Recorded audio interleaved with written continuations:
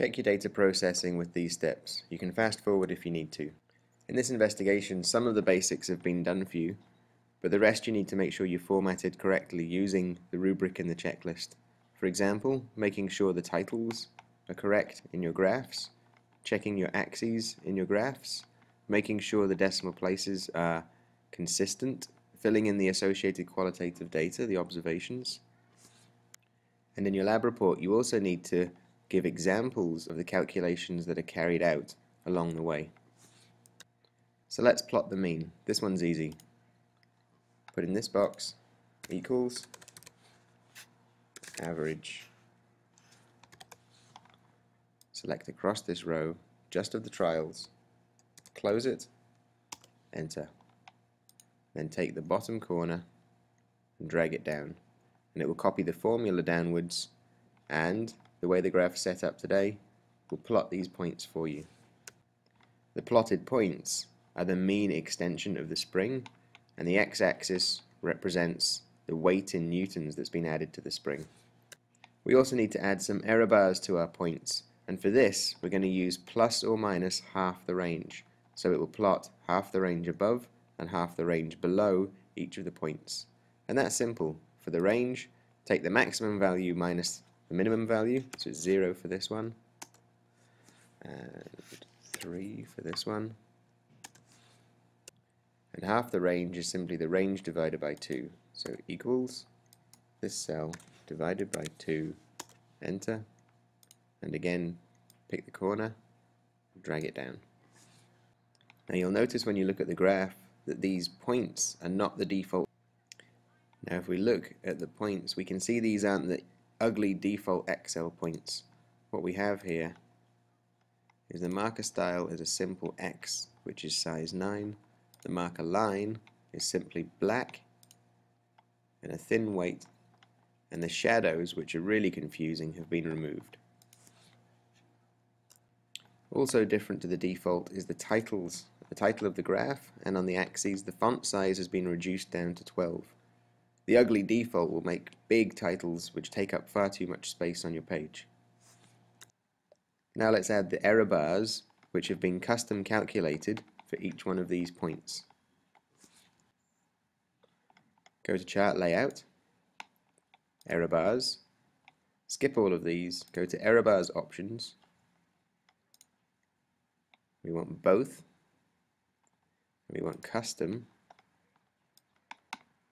we want to specify value and we want to tell the graph to put the positive error bar as half the range and the negative error bar as half the range.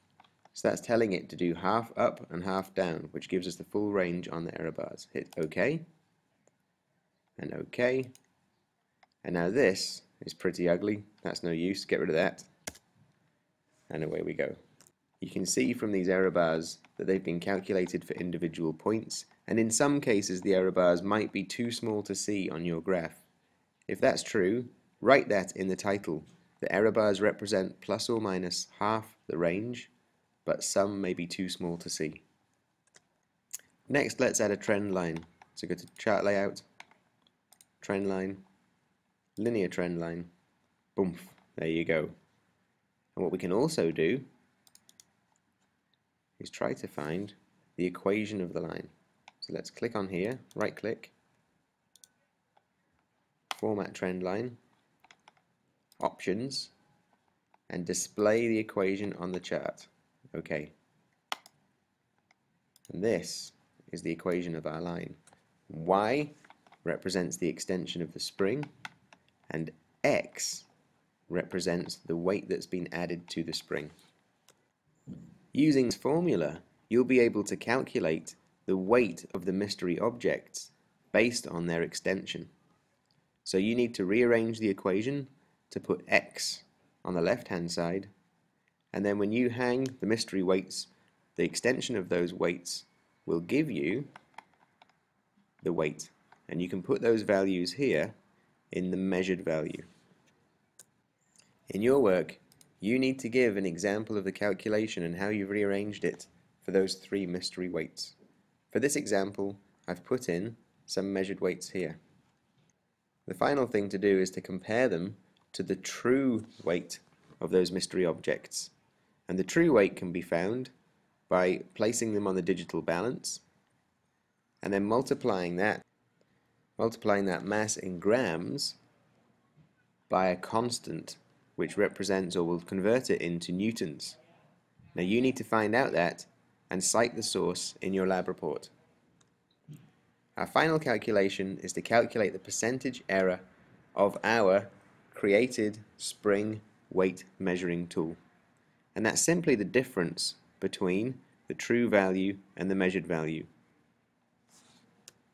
which is calculated by having the measured value minus the true value, and that difference divided by the true value to give a proportion of the error related to the true value, and multiplied by 100 which would give us a percentage error. Now you can see that this number here is inappropriate, it's got far too many decimal places.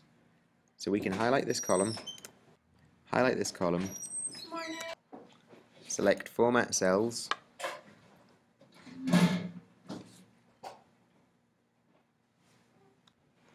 and go to Number, Number, decimal places 1, okay.